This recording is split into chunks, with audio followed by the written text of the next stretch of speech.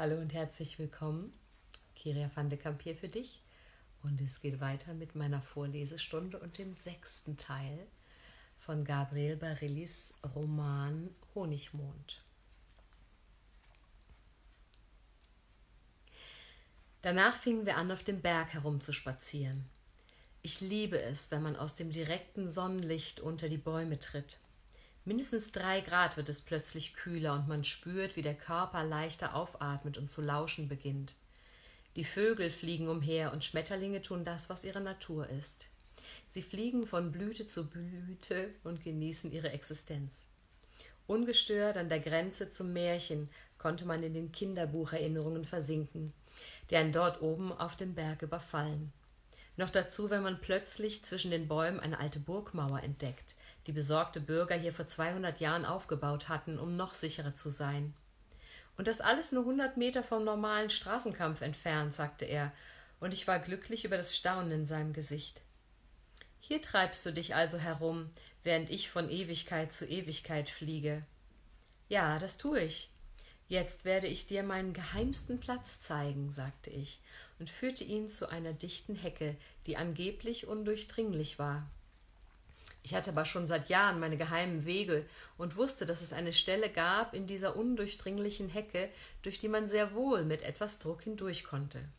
Und so nahm ich ihn an der Hand und brach mit ihm durch auf die andere Seite. Jenseits der dichten Büsche lag eine kleine Lichtung mit völlig verwildertem Gras, in das sich sonst nie jemand setzte, und in dieses Gras legten wir uns schlossen die Augen und hörten dem Wind zu, der leise und mit mel melodischen Wellen durch die uralten Baumkronen streifte. Ich lag auf dem Rücken und hatte seinen Kopf auf meinem Bauch liegen, und beide lagen wir da und mussten uns für nichts beeilen, und für nichts galt es eine Erklärung abzugeben. Ich hatte meine rechte Hand unter meinem Kopf, mit der anderen streichelte ich ihm hier und da durch sein Haar. Er hatte wunderschönes Haar, weich und fest, und ich streichelte ihn von der Stirn nach hinten zu seinem Nacken, weil es ein Kater gar nicht gern hat, wenn man ihm gegen den Strich ins Fell greift, und er sollte in jedem Augenblick spüren, dass ich das respektierte. Langsam, ganz langsam wanderte die Sonne über den Himmel und verschob die Schatten, die die Bäume über uns auf die Wiese legten. Von ganz weit weg hörte ich das Brummen der Stadt, in der es so viele wichtige Dinge zu erledigen gab, von denen ich mir nicht vorstellen konnte, jemals wieder etwas mit ihnen zu tun zu haben. Wie schreibt man einen Dauerauftrag bei der Bank? Welches Formular verwendet man dafür? Und vor allem warum? Warum Daueraufträge? Warum nicht einfach nur lachen und lieben, wie zwei Kolibris, die sich an den Glockenblumen selig trinken? 22, 19, 15, 14, 13, 12. Der Zeiger meiner Erinnerungen auf der Lebensuhr lief zurück, zurück bis zu dem Tag, an dem ich zum ersten Mal auf dieser Wiese gelegen hatte. Das Einzige, was ich damals von Daueraufträgen wusste, war, dass ich dauernd auf diesem Stück Welt in der Sonne liegen bleiben wollte, um den Birkensamen zuzusehen, die im Wind trieben und einen Platz zum Neuentwurf eines Baumes suchten. Ich war zwölf Jahre alt und dünn. Mein Gott, ich war so dünn, dass man nur an meinen beiden Zöpfen erkennen konnte, dass ich ein Mädchen war. Irgendwann muss es doch losgehen, dachte ich jeden Tag siebenmal und stellte mich immer wieder im Profil vor den Badezimmerspiegel, um meinen Busen zu kontrollieren. Betty hatte schon seit einem Jahr zwei Dinger, die wie Honigmelonenbabys aussahen, und seit dem Tag, als sich ein Lehrer zweimal beim Wort Rotationsachse versprochen hatte, als er an ihrem Tisch vorbeikam, trug sie überhaupt nur mehr T-Shirts der Marke Much Too Small. Was soll man machen, dachte ich, was soll man machen? Ob Eincremen hilft? In der Werbung für Kosmetik hatte ich gesehen, dass eine Frau mit langsam kreisenden Bewegungen eine weiße Flüssigkeit auf den Busen auftrug und dann von unten nach oben kreisend dieses Zeugs einarbeitete. Auf diese Weise bleibt ihr Busen straff und in Form, versprach die Beschwörungsformel des Produktes, und dabei lächelte das, zwei, das 20-jährige Fotomodell das eine 43-jährige Frau darstellte, so doppelbödig in die Kamera, dass meine Mutter den Kanal wechselte und mein Vater ganz verstört aufblickte wie ein Teddybär im Zoo, dem man beinahe eine Honigwabe durch das Gitter geschoben hätte. Den Namen des Produkts konnte ich mir aber trotzdem nicht trotzdem merken. Um einen Tag später stand ich in der Parfümerie und investierte den größten Teil meines Vermögens in den Aufbau meiner Zukunft. Ich schleppte die Flaschen und Tuben der Firma, die dieses Wundermittel auf den Markt gebracht hatten, in einer Geheimaktion auf meinen Berg, brach durch die Büsche und setzte mich in die Sonne, um zu lesen, was auf den Beipackzetteln stand. Überhaupt Beipackzettel. Ich liebe sie. Ganz egal ob Hustensaft oder Wimperntusche, der Beipackzettel ist eine Welt für sich. Ich setze mich immer nach dem Einkauf auf den Badewannenrand und lese erst einmal ganz gründlich, was da so steht. Jede Eventualität wird angesprochen. Selbst die Möglichkeit, durch den neuen Haarfärber und Haarfestiger in seltenen allergischen Reaktionen Sommersprossen zu bekommen, wird gestreift, um nur ja den größten Eindruck an Seriosität zu vermitteln. Und jemand, der beim Anpreisen seiner Ware darauf hinweist, dass im Fall der Fälle, falls das Mittel im Süden um Mitternacht und Vollmond genommen werden sollte, dass also in diesem Falle alles schiefgehen könnte, wer derart darauf hinweist, ist schon sehr seriös. Nun saß ich also da und überflog das Papier, in dem wieder von kreisenden Bewegungen die Rede war, und zog mein Hemd aus und quetschte einen halben Liter Creme auf meine Brust. Was machst du denn da? Wieso? Warum? Wer hier? Das kann nicht sein. Ich drehte mich um und sah den Jungen aus meiner Klasse dastehen, der in der zweiten Bank neben mir saß und komischerweise immer meine Schultasche tragen wollte und nicht die von Betty. Vielleicht, weil ich beim Unterricht immer so weite Blusen trug, die der Fantasie mehr Spielraum gaben als diese Vakuumverpackungen von Betty, in denen sich ihr Fallobst präsentierte. Ich, ähm, ich, ich, ich sonne mich hier ein wenig. Ah, so. Ja. Hier oben? Ja, hier oben. Warum fährst du nicht an den See? Ich habe nur eine Stunde Zeit. Aha, er fragte nicht weiter und setzte sich neben mich. Sonnencreme? fragte er und nahm eine meiner Wunderflaschen. Ja, Sonnencreme, sagte ich und nahm sie ihm wieder weg. Gut, ich habe nämlich nie welche dabei, sagte er und zog sein Hemd aus. Was tust du? Ich sonne mich auch. Aber wie bist du eigentlich hierher gekommen? Du meinst durch die Büsche? Ja, durch die Büsche. Ich bin dir nachgegangen. Kannst du mir den Rücken eincremen, bitte? Ich war sprachlos. Erstens, weil ich zusah, wie ich meine sündteure Geheimwaffe auf seinen Rücken verschmierte, mit langsamen, kreisenden Bewegungen. Und zweitens war ich sprachlos, dass er mir einfach so direkt eine Liebeserklärung machte. Das war es doch, oder? Ich meine, Betty hat mir noch nie davon erzählt, dass ihr einer der Jungs aus unserer Klasse nachgegangen war. Kunststück. Die blöde Kuh wurde ja auch seit einem halben Jahr von einem fünf Jahre älteren Kerl von der Schule abgeholt, von einem Angeber, der seit kurzem ein Motorrad besaß und Widerlich. Na gut. Wie auch immer. Ich verrieb die Creme in seine Haut und dann sagte er, jetzt bist du dran und nahm mir die Flasche aus der Hand. Ich hob meine Haare in die Höhe und spürte, wie er viel zu viel von der Milch auf meinen Rücken rinnen ließ. Genug, schrie ich. Und dann begann er mich zu massieren, als hätte er sein Leben lang nichts anderes getan. Er begann am Nacken und arbeitete sich zu den Schulterblättern vor. Und während er da oben cremte und massierte, rann ein dünner, kühler Tropfen meinen Rücken hinunter auf meine Hüfte.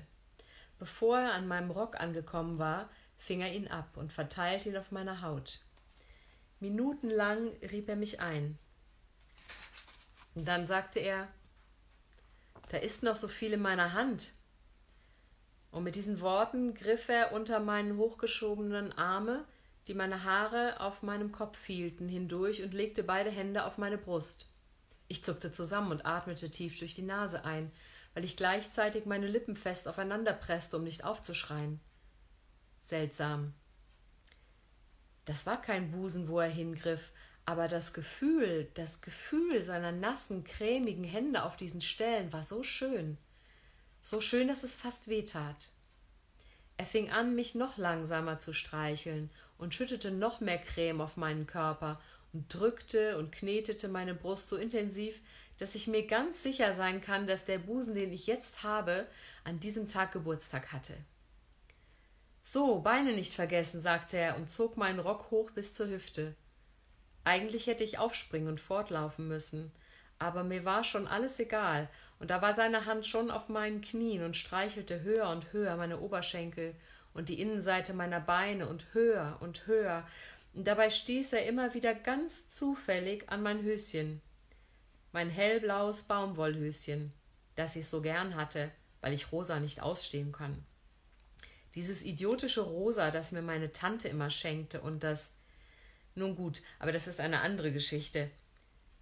Ich lag halb zurückgelehnt auf seinem Bauch, die Hände hatte ich immer noch wie festgebunden auf meinem Kopf und sah ihm zu, wie er von hinten um mich herumgriff und mir öfter und öfter an mein Höschen stieß, und ich dachte, das darf ich nicht mögen. Das geht zu weit. Danke, das genügt, sagte ich und richtete mich auf. Gut, dann gehe ich jetzt, sagte er und sprang in die Höhe, um, und beim Aufspringen stieß er an meine Schulter, und ich konnte ganz genau spüren, dass er in seiner Hose steinhart geworden war. Ich blieb sitzen und sagte Also dann bis morgen und sah auf den Punkt, der fünfzehn Zentimeter unter seinem Gürtel lag und jeden Moment zu platzen schien. Ja, ja, bis morgen, sagte er. Und dann ging er, rückwärtsgehend, weg und unsere Augen brannten sich ineinander fest, bis die Büsche sich wieder hinter ihm geschlossen hatten. Ich war so verwirrt von dieser Erscheinung, die nur eine halbe Stunde gedauert hatte, dass ich noch minutenlang auf den Punkt starrte, an dem er verschwunden war. Mir nachgegangen. Ha, er ist mir nachgegangen, dachte ich und zog meinen Rock aus, um mich darauf zu legen. Ich sah an mir herunter und glaubte, die erste leichte Erhebung auf meiner Brust zu sehen. Diese Creme musste wirklich ein Zauberding sein. Ich verteilte die Reste der Flüssigkeit, die noch auf meinen Beinen klebte, und schob meinen blauen Slip zur Seite. Wie oft er da wohl angekommen war, dachte ich, und streichelte zart meine weichen Haare, die von dem Stoff zusammengedrückt waren. Wie oft wohl, dachte ich und lehnte mich zurück und fuhr mit dem Finger in mich hinein und ließ ihn dort drin und bewegte ihn nur ganz vorsichtig hin und her und hin und her, hin und her und hin und her und neunzehn, zwanzig, einundzwanzig. Eine kleine Wolke trieb über mein Gesicht und verwandelte die Erinnerung in die Wärme der Gegenwart. Wir lagen immer noch auf der Wiese, und er hatte seinen Kopf immer noch auf meinem Bauch liegen und schien zu schlafen. Die Erinnerung an diesen Tag lag um mich herum wie ein Schal aus dunkelgelber Seide, und ganz vorsichtig zog ich mit meiner Hand den Stoff von meinem Kleid ein wenig höher, um zwischen meine Beine zu greifen. Ich bewegte mich ganz langsam, um ihn nicht zu wecken, und war froh, dass ich an diesem Morgen kein Höschen angezogen hatte. Ich legte meine Hand auf meine Haare wie damals und zog mein rechtes Bein ganz langsam zur Seite, so dass die Sonne direkt auf meine weichen Lippen strahlen konnte. Ich fuhr mit den Fingern dazwischen und öffnete sie ganz vorsichtig, so dass die Sonnenstrahlen mich küssen konnten. Die Wärme stieg zwischen meinen Beinen hoch und wanderte breit und langsam von meinem Becken zu meinem Hals. Ein leichter Wind wehte durch meine Haare, und dann steckte ich meine Finger wie damals ganz tief in mich hinein. Warm und feucht war ich, und ich zog mich ein wenig um meinen Finger zusammen und ließ wieder los, zog mich zusammen und ließ wieder los und sah ihn vor mir, wie er sich in der Nacht über mich gebeugt hatte. Ich sah die Reflexe der Straßenbeleuchtung, die die Konturen seiner Muskeln nachgezeichnet hatten. Die breiten Muskeln auf seiner Brust, die ein bisschen feucht schimmerten von seinem Schweiß, der über seinem ganzen Körper lag wie der Geruch von heißem Pfeffer. Er bewegte seinen Kopf und ich hörte auf. Ich atmete ganz flach und wartete ab, ob er wieder einschlafen würde. Eine Zeit lang war es atemlos ruhig. Nur das Geräusch des Windes, der durch das Gras neben meinem Kopf streifte, war zu hören. Als ich wieder zu atmen begann, bewegte er langsam seinen Kopf auf meinem Nabel. Stück für Stück zog er mein Kleid in die Höhe. Stück für Stück rutschte der Stoff über meine Hüften, meinen Po, bis ich ganz nackt war. Er drückte seinen Mund auf meinen Nabel und fuhr mit seiner Zunge hinein, und dann blieb er still liegen und atmete nur ganz langsam in meine Haut.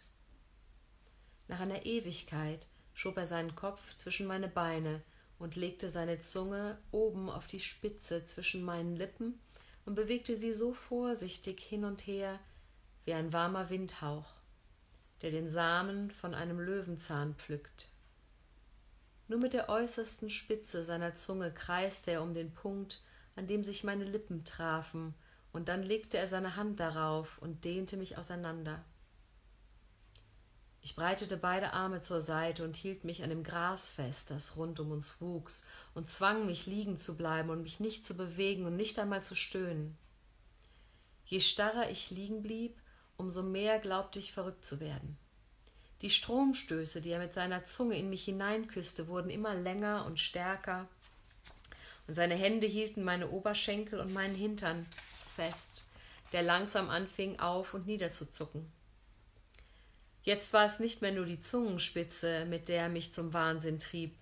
Jetzt war es sein ganzer Mund und seine ganze Zunge, mit der er mich auffraß. Auffressen, das ist das Wort.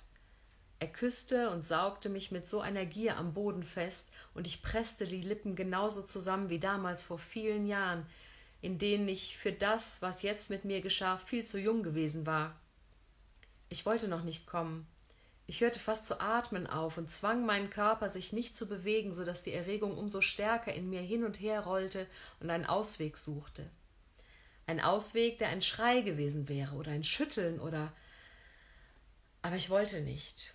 Ich wollte es so lange zurückhalten, bis ich den Verstand verliere. Jetzt fing es an und ich spürte, dass ich es diesmal nicht mehr bremsen konnte. Er machte mich mit seiner Zunge so nass, seine Lippen waren so weich und so tief in mir, dass ich es nicht mehr bremsen konnte. In dem Moment hörte er auf. Er wusste genau, was mein Körper erlebte und hörte in dem Moment auf, in dem es keinen anderen Ausweg mehr gab, als zu kommen. Ich wollte schreien und konnte es nicht. Ich schwebte wie ein Ballon in der Höhe und kein Windhauch trieb mich vor und zurück. Beim geringsten Zeichen, dass ich sinken würde, könnte die Flamme wieder fauchen und mich in die Höhe treiben. Ich spürte, wie der Höhepunkt in jeder Zelle bebte und raus wollte. Raus, raus, raus, raus, raus. In dem Moment, in dem ich anfangen wollte zu schreien, steckte er seine Zunge so tief und fest in mich hinein und zog sie gleich wieder heraus und umkreiste mich damit, steckte sie wieder hinein, dass ich mich nicht mehr halten konnte und es kommen ließ. Ich bäumte mich auf, presste seinen Kopf mit aller Kraft zwischen meine Beine, und so hielt ich uns fest, fest, fest, fest, bis ich langsam wieder zusammensank und mit weit geöffneten Beinen liegen blieb. Ich atmete tief ein und roch, wie süß die Luft war. Ich spürte, wie sein Herz genauso schnell schlug wie meines und streichelte seinen Rücken. Er hatte sein Gesicht wieder auf meinen Bauch gelegt, und dann spürte ich, wie er lächelte. Seine Wangen spannten sich im Lächeln, und dann küsste er meinen Bauch und meine Brust und meinen Hals und meinen Mund. Hallo, sagte er und sah mir in die Augen. Hallo, liegen Sie auch hier auf dieser Wiese? Nein, wie kommen Sie darauf? Ach so, verzeihen Sie, ich hatte nur das Gefühl. Was für ein Gefühl hatten Sie? Ach, ich, ich hatte das Gefühl, dass ich Sie liebe. So, das haben Sie. Ja, Sie werden lachen. Ich habe dasselbe Gefühl. Obwohl Sie gar nicht hier liegen? Eins zu null. Danke. Bitte. Ich nahm seinen Kopf und zog ihn zu mir herunter. Ich küsste ihn und biss ihn zart auf seine Lippen. Ich werde dich jetzt auffressen, sagte ich. Das wäre vielleicht nicht so klug, weil es mich dann nicht mehr gäbe. Die Männer und ihre Logik. Würde sich die Welt noch drehen ohne diese Logik? Ich denke schon, und es wäre eigentlich spannend zu sehen, in welche Richtung. Andererseits, ich glaube immer weniger an diese Aufteilungen im Denken und Handeln. Wirklich. Obwohl sie jetzt nachgewiesen haben, dass es fundamentale Unterschiede zwischen den Gehirnhälften gibt, die die Geschlechter noch stärker unterscheiden als jede Äußerlichkeit. Die linke und die rechte Hälfte sind bei den Männern nicht so sehr miteinander verkabelt wie bei uns, heißt es. Und daher sind wir sprachlich begabter und intuitiver und können Zusammenhänge schneller erfassen als die Männer. Klingt verdammt gut, aber warum lassen wir sie dann immer noch so viel Blödsinn mit der Welt anstellen? Wenn wir so viel intuitiver sind und ja schon beim Fallen eines Blattes erfühlen können, wo es landen wird. Ich muss die armen Kerle wirklich in Schutz nehmen vor der Meute, die ununterbrochen heult, wir seien die besseren Menschen, weil wir ja das Leben bringen und erhalten würden, würden sie es ja nur un un ununterbrochen zerstören. Gehe ich zu weit? Ist es der falsche Moment, über diese Fragen nachzudenken? Wer weiß. Noch dazu, wo wir ja noch in der Überzahl sind auf diesem Planeten, nicht? Da könnten wir doch einiges bewegen, denke ich, mit unseren vernetzten Hälften. Wie war das doch mit diesen Frauen im alten Griechenland, die einfach nicht mehr mit ihren Männern ins Bett gegangen sind, solange der Krieg tobte? Oh, wie schnell haben die dann die Waffen beiseite gelegt, um endlich einmal wieder bumsen zu dürfen, anstatt dem Gegner den Kopf zu spalten. Warum tun wir das nicht auch heute? Warum verweigern wir nicht den Sex, solange noch ein einziger roter Sportwagen mit 200 Sachen über die Autobahn braust oder solange noch irgendwo ein neuer Golfplatz geplant wird, dem ein ganzer Wald weichen soll? All das zerstört doch in großem Maßstab unsere Welt. Und so, sie tun es doch nur, um uns zu imponieren. Mit Geld und schnellen Autos erfüllen sie heutzutage das Angeberpotenzial, mit dem sie früher fremde Länder überfallen haben. Nein, könnten wir doch rufen, das zerstört unseren Planeten und die Zukunft unserer Kinder, das können wir nicht dulden und das imponiert uns auch überhaupt nicht. Und darum sagen wir dieser Dummheit den Kampf an und lassen euch so lange nicht mehr unter die Decke, bis ihr alle Fahrradfahrer geworden seid und nur noch Sport treibt in zurückgebauten Flussläufen. Das wäre doch was, nicht? Da hätten wir was geleistet. Und warum geschieht das nicht? Weil immer noch zu viele von uns auf den roten Sportwagen abfahren. Und die einzige Intuition, die uns überkommt, ist die, dass er wirklich ein toller Hecht sein muss, wenn er sich so ein Ding leisten kann dass 80 Prozent von den Schlitten auf unseren Straßen auf Firmenleasing dahin gleiten, steht auf einem anderen Blatt. Aber wen interessiert das schon im Kampf der Geschlechter, in dem es nur um eins geht? Schneller, höher, weiter, besser. Lineare Logik führt diese armen Männer zu ihren Zielen und wahrscheinlich wird immer, wird wie immer im Leben nicht die Vernunft, sondern nur der Gesamtkollaps unseres Gemeinwesens diese Ziele verändern. Spielst du Golf? Nein. Fährst du offene rote Sportwagen? Ich denke, diese Angeberei in der Summe dazu führt, das Leben auf diesem Planeten eines Tages zu zerstören. Daher benutze ich ausschließlich mein von blutroten Segeln betriebenes Segelschiff. Er war tatsächlich nicht von dieser Welt. Ich hatte es vergessen. Was für ein Tag, sagte ich, um von meinen Verwirrungen abzulenken, und stand auf.